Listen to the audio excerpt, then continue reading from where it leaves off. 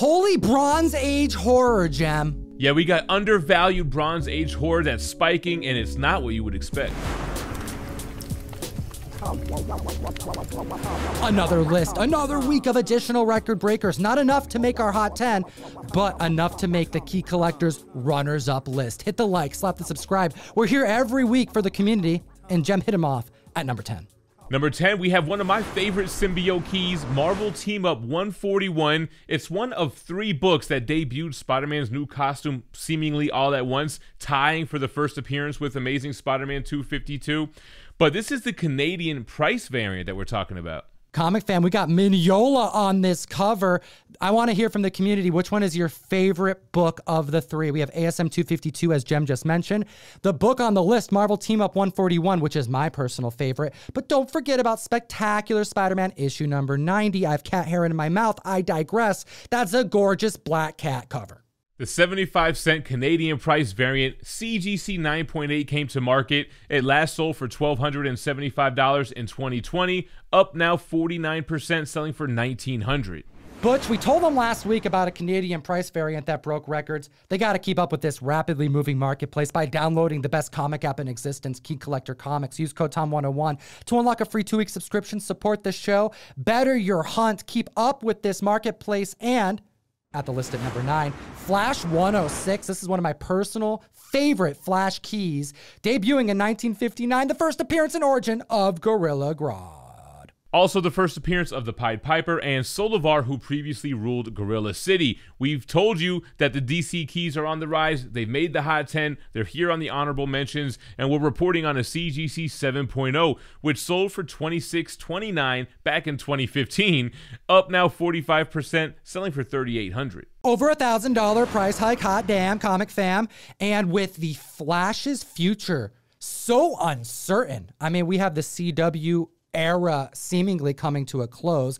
And with the not very good PR surrounding Ezra Miller, what's going to happen for our Scarlet Speedster? Well, this may be one of the most prime times to invest in Flash books before they inevitably go up because he's a legacy character at the list at number eight. We warned you. The horror has arrived. We have Supernatural Thrillers issue number five to talk about, debuting in 1973 the first appearance of the living mummy, the true mummy of Marvel Comics post the Comics Code. We have a CGC 9.8 to report on. It sold for $1,950 back in June, and it's up 97%, now selling for $3,850. An increase of nearly $2,000 for the living mummy. Is this mummy spec? No, this is Bronze Age horror spec, the spec on the occult, the supernatural. Imagine what's happened with Johnny Blaze and Ghost Rider over the last year. This right here shows very promising futures for other supernatural thriller books, key books, and hero books. I'm looking at you, Tomb of Dracula number one. Let's take a break from the Bronze Age horror for just a moment here and introduce number seven on the list. It's a theme park comic book, Star Wars Galaxy Edge, issue one from 2019. A variant cover described as the Imagineering Edition that was gifted to developers of the Galaxy's Edge theme park at Disney World and Disneyland. Only 6,800 copies were produced. And Gem, what happens to comic books when they are gifted to muggles?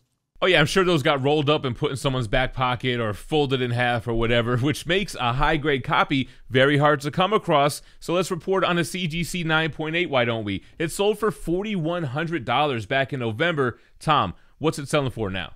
An increase of over $2,000, an increase of 51%, clearing the $6,000 marker, selling for 62 hundo. Hot damn. Next at the list at number six, let's keep the Bronze Age occult supernatural going with Frankenstein issue number one, debuting in 1973. Gem, we have a gorgeous 9-8 to talk about. Yeah, I always thought X Men 40 was the first appearance, but that Frankenstein was later revealed to be an android. We do have another CGC 9.8. It sold for $1,250 back in 2020. It's up 172%, now selling for $3,395.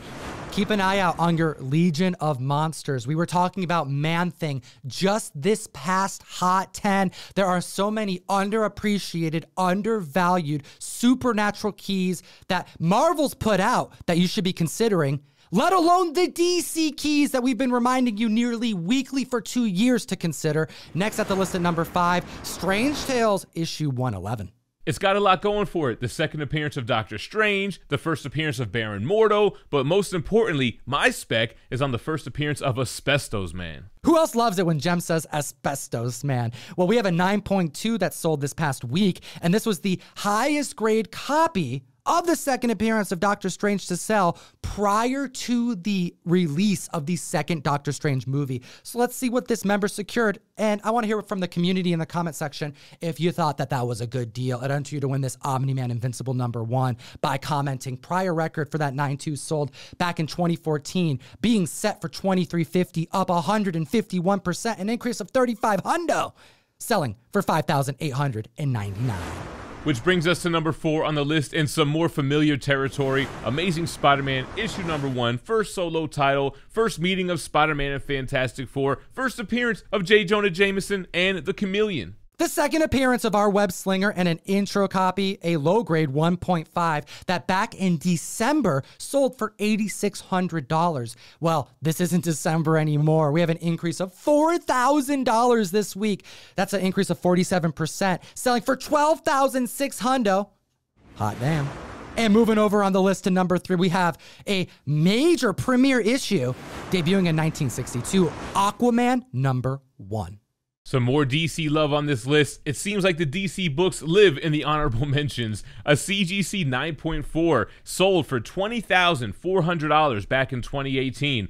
A lot of Aquaman hype back then and it seems coming back to the forefront with a 52% increase, selling for $30,995. What a book to make the list, Gem. I mean, Aquaman 2 is inbound. Have you heard the rumors? Not only is the PR surrounding Amber Heard rather rough right now, that they've dwindled her appearance time, rumored under 10 minutes. Not only that, but there's a petition to have her removed completely. Kind of crazy. Next at the list at number two, we have Incredible Hulk number one, the first appearance and origin of the Hulk, Bruce Banner, Betty Ross, Rick Jones, and General Thunderbolt Ross. Blue chip Marvel key. This is one that I've always wanted, never owned, and I don't think I ever will. Looking at these numbers, we have a CGC 5.5. It sold for $36,066 back in December. It's up now 50%, selling for 54 grand. An increase of nearly $18,000. Hulk just smashed the record this week. Comic fam, if you enjoy what we do, do yourself a solid and click the link in the description and subscribe to one of my favorite YouTubers on YouTube. Gem Mint over at Gem Mint Collectibles. What do you got going on over there? I appreciate that, Tom. Weekly comic book day reviews, omnibus reviews, statue unboxing, Sunday morning live streams with my wife. We have a ton of fun. Come swing by. And now at the list at number one, a major record breaker, a 9.8 that just outdid itself by nearly $24,000 in a few months. Neal Adams' greatness, the new reintroduction of the Joker. We have Batman 251 debuting in 1973. We had a few Neal Adams books on our Hot 10 list, and this one was surprisingly missing. It makes sense that its monster sale landed it at number one for the honorable mentions. Batman 251 is credited as going from campy 60s Joker to homicidal maniac that we know and love. And plus a 9.8 to boot, it sold for $11,100 back in January, and it's up 215%, now selling for $35,000. A lot of love going out to the key comic books created by one of the greatest artists of all time. We appreciate your time today, comic fam. Comment down below, it'll enter you in a giveaway. Butch would appreciate it, and as always, eat responsibly and stay minty fresh. Enough? said, join myself, Gem Mint, and all my friends and homies over on the best new app to buy and sell collectibles, Whatnot, available for both Androids and iPhones. Dollar start auctions that last as little as 15 seconds long. We're doing giveaways. We have key books, Silver, Bronze Age, and so much more. We also have two other videos for you to check out. We made them for you. Have a great week.